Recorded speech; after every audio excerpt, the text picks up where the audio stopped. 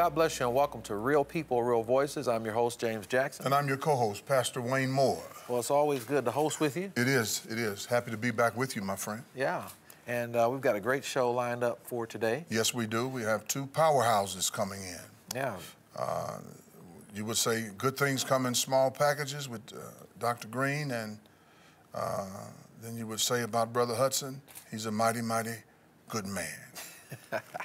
yeah, and, and, both of these guys uh, are on the front lines for mental health. Yes, yes. Uh, the, these young men have worked in a collaboration with you and myself uh, to make mental health uh, aware in, in the community and have done an outstanding job uh, in doing so. So today we're going to hear from them uh, as we hear from one another right. on the work that we've done in the last four or five months. And that's a, a big issue in this country and in the city of Indianapolis um, where mental health is concerned. Uh, it's my understanding that as much as 80% or more of the people who are incarcerated in Marion County Jail have some untreated mental health issue. Yes, those those who are in the uh, Marion County Jail, Marion County Jail has been utilized in, in the past uh, few years as our new mental health hospital, and so now uh, uh we need to uh, address the issue uh, from all angles to try to do something to eradicate the problem of serving mental health properly. Yeah, and the information I think we're going to share today. Yes. And people can, you can go to our uh, YouTube channel on WHMB TV 40, and we have some mental health information. We have some clips there that are very, very informational. Healthy you know, City. Yeah, and Dr. Healthy Mind, uh, Healthy City. Dr. Uh, Virginia Caine was involved in that? Yes, she's very much involved in it. She's, uh, she's a trooper for mental health, not only mental health, but for whatever uh, ails our community. She's right there to help us try to get it done. Yeah, so we want you to stay tuned with us right here on WHMB Channel 40. Check out the show on Sundays at 6.30 right. and on Wednesday nights at 11 o'clock p.m. You can watch this show. If you missed this one or you miss any others, uh, you can go to the YouTube channel, the WHMB TV 40 YouTube channel, and you can watch this show and any other show that you might have missed. So we want you to stay tuned. Also, we want you to enjoy the musical selection coming from Sharon Bunny Moore. I love the name. We'll be back after that.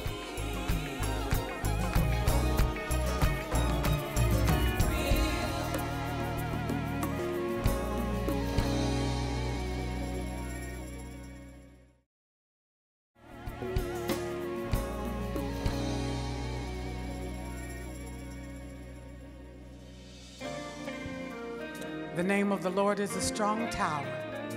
The righteous can run into it and be saved. That's why we can call on the name of Jesus. Hallelujah.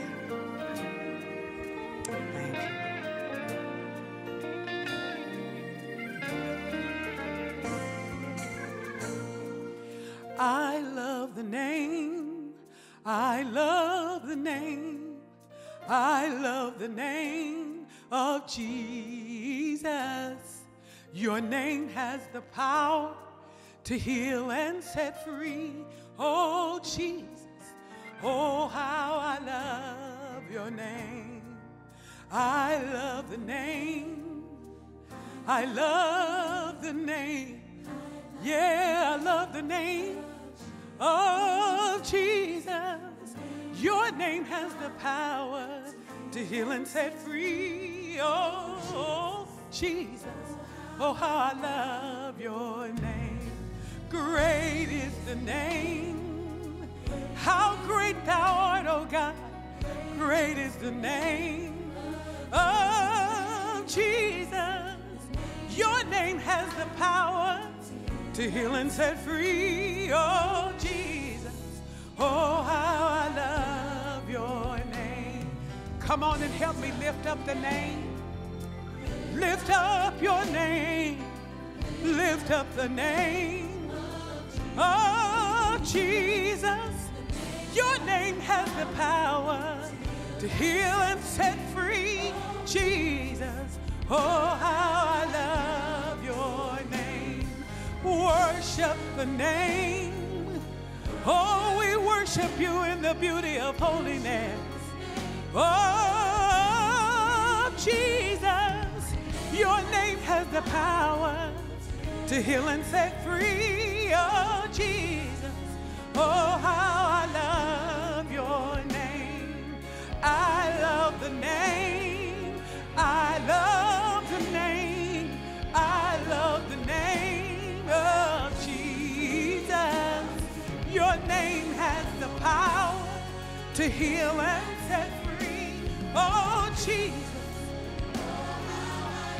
Oh, I love, I love, I love the name of Jesus. Yeah, I love to call your name. Oh, cause I found so much peace in your name. I love, I love, I love the name of Jesus. Glorious is the name of Jesus. Yeah, righteous is the name of Jesus. I can come boldly to your throne and call your name. Cause I can find mercy and grace in the name of Jesus. I love him, I love, I love, I love to call your name. Yeah, I can find peace in your name. Oh, Jesus, Even in the midnight hour, I can call on Jesus. Hey, yeah, there's peace and joy in your name. You're a shelter for me. I love the name of Jesus. Yeah, salvation is in the name of Jesus. Demons tremble at the name, at the name of Jesus. Nothing can stay the same if you call on Jesus. Hey, I just dare you to try Jesus. Jesus, call, call on the name of Jesus. Yeah, Jesus. I love your precious name. You're righteous, you're holy, you're awesome, you're incredible, you're marvelous, you're wonderful. Oh, Jesus.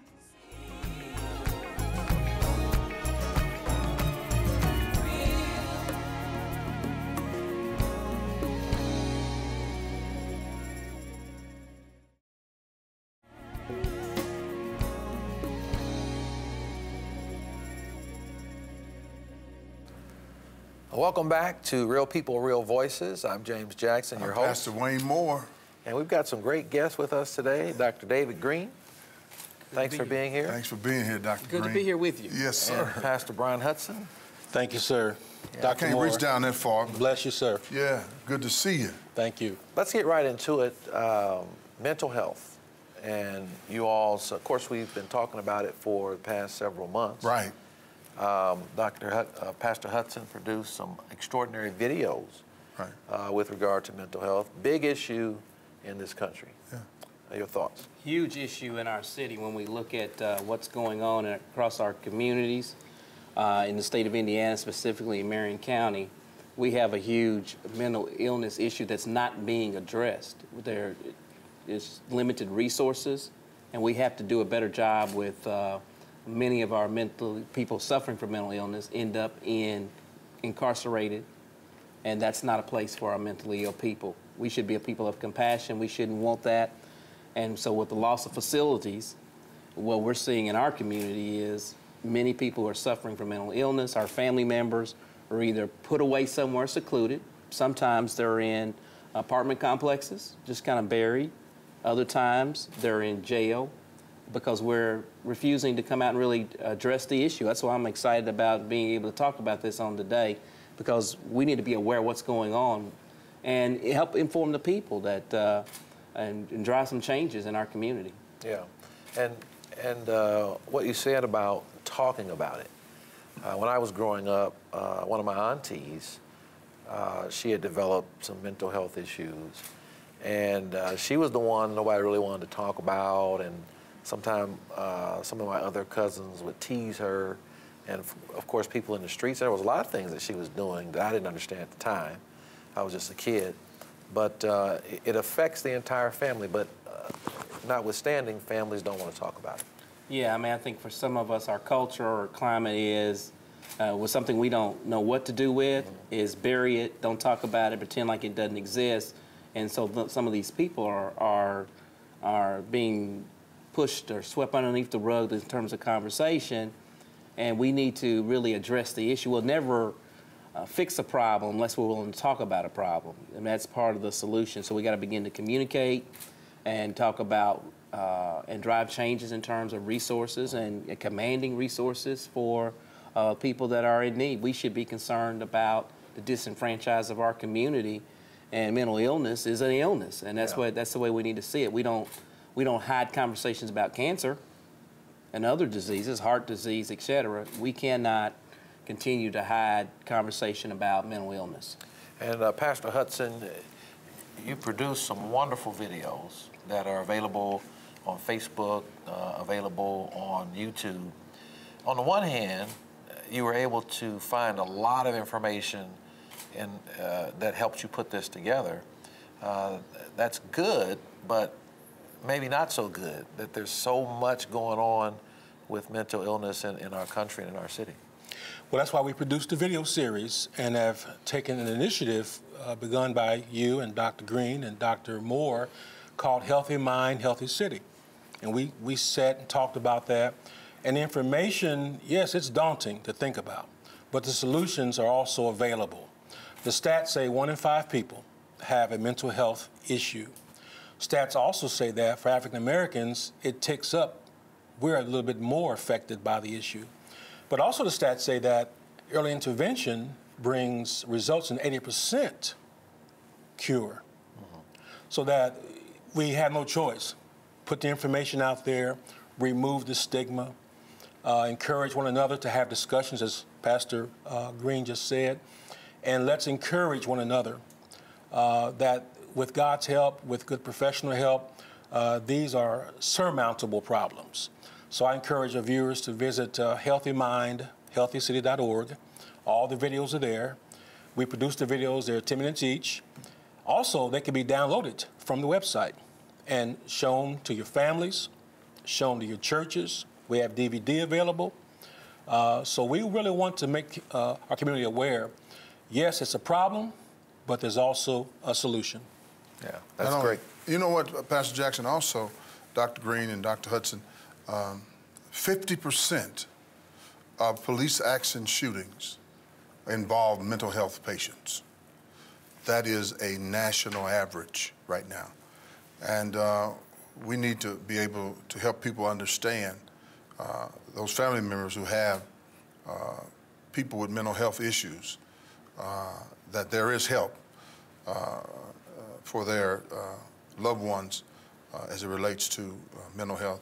And now uh, our police department uh, has a division now that is working. It's, it's not really where it needs to be, but it's working to address those issues. So, for instance, if somebody uh, uh, has a mental uh, issue going on in their home, uh, we have a police that will bring a, a mental health authority with them to be able to help them with that particular situation so the issue will, will not escalate to where there is a, a, another shooting. And so th- that's something that, that, that we need to really look at. Uh, this is across the country, just not in Indianapolis, but it's across the country. Our police forces are not equipped to handle mental illness in our communities. And we talked about, uh, of course, both uh, Dr. Green and, and Pastor Hudson talked about the uh, resources. Right. Exactly. Do, do you think that more are coming available, or are we still a long way from where we need to be? We're a long way from where we need to be, but at least there's beginning to be a little more funding and push for facilities. For example, uh, there where Community East is on the east side, there's going to be a mental health facility. It's going to be built. Again, you know, it's going to take a year or two to build it. Uh, it- you know, if you talk to the experts, it's still not big enough. It's not going to address all the needs of our community. Uh, and there's several places that we need additional people that are permanently going to be mentally. Where are we going to house them? This is just a hospital. And so, what do you do with someone who's suffering from mental illness, who's on medication, and probably can't function on their own, where do they live? What does that look like in our community? Because we don't want to continue to uh, have them staying in the Marion County Jail Right. and being a part of that system.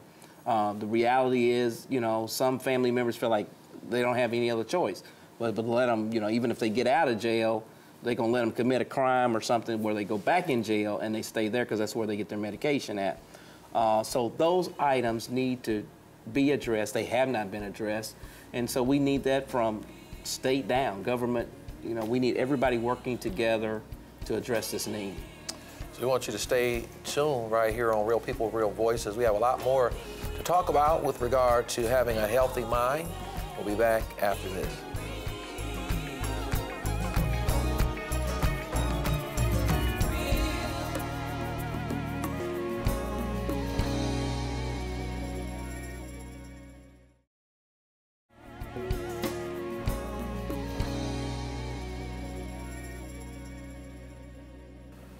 Welcome back to Real People, Real Voices, and uh, we're talking about mental health. want to get right back into that. Right into it. Uh, Dr. Moore, uh, and I want to uh, uh, Pastor Hudson and Dr. Green to kind of weigh in on this. Are we headed back towards a central state uh, hospital um, paradigm? Of course, uh, I would hope we're not headed towards a a central state paradigm because uh, central state no longer exists.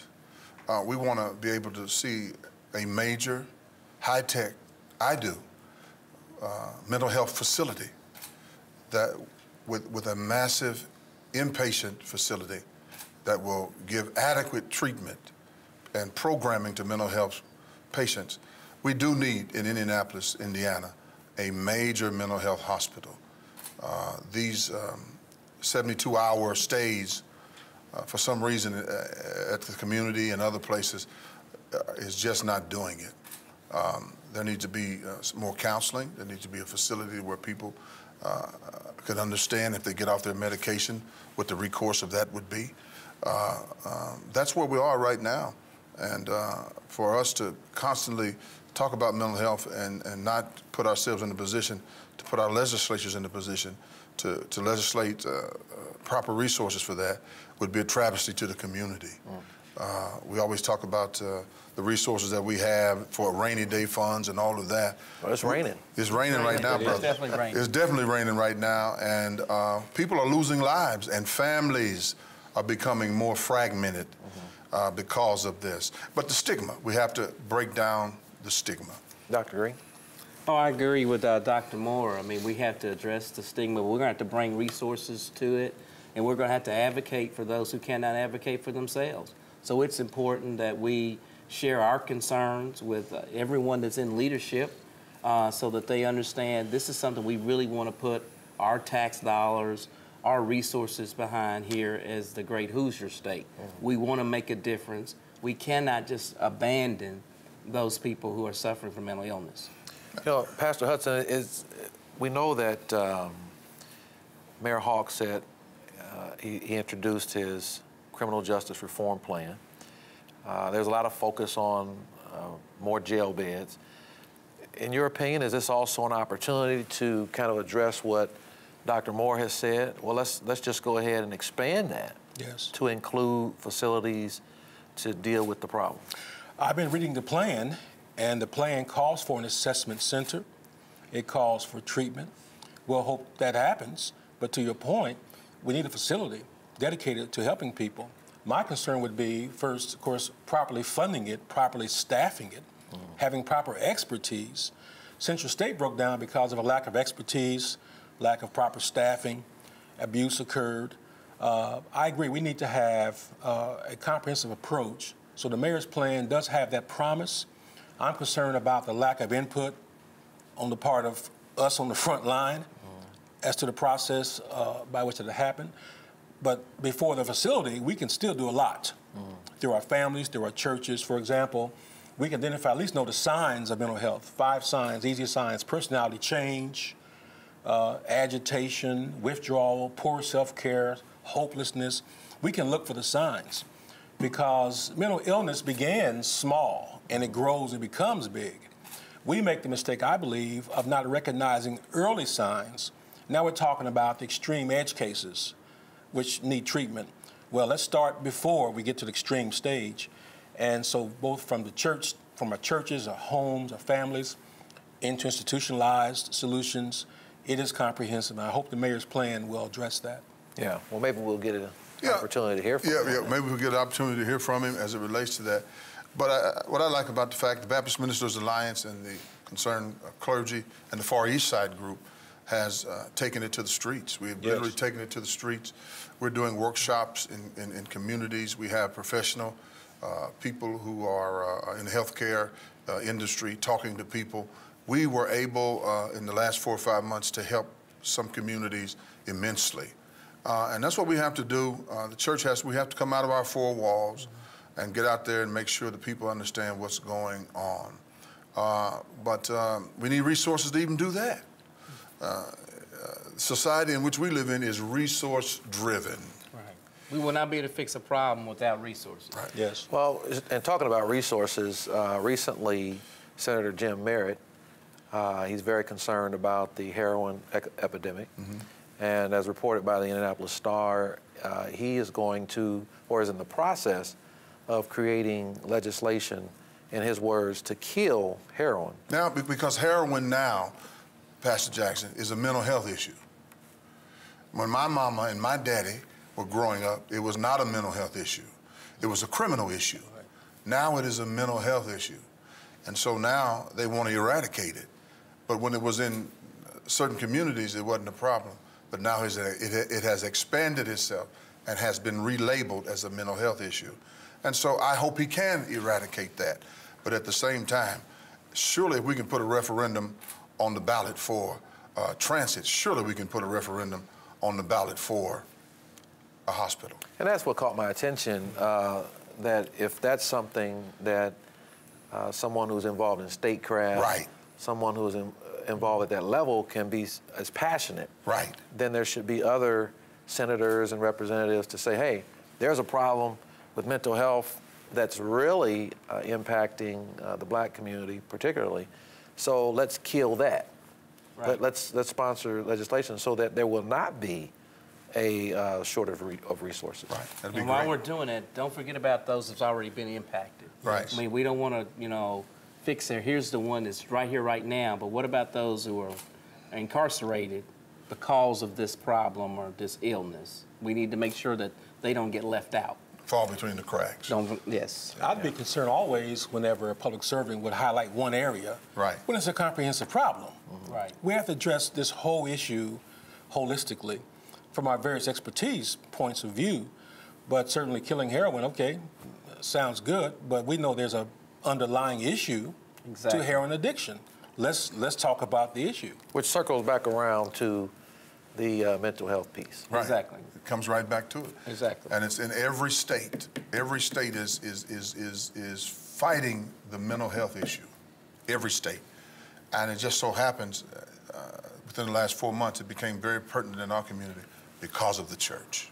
Yeah, and Pastor Hudson, if you can give the uh, viewing audience the location that they can find that information in. Yes, go to healthymindhealthycity.org. There's a webpage there produced by uh, these brothers and these pastors who love the city. You'll find the videos there. You'll find resource links. If you need help, you'll find phone numbers, other links to websites to help you.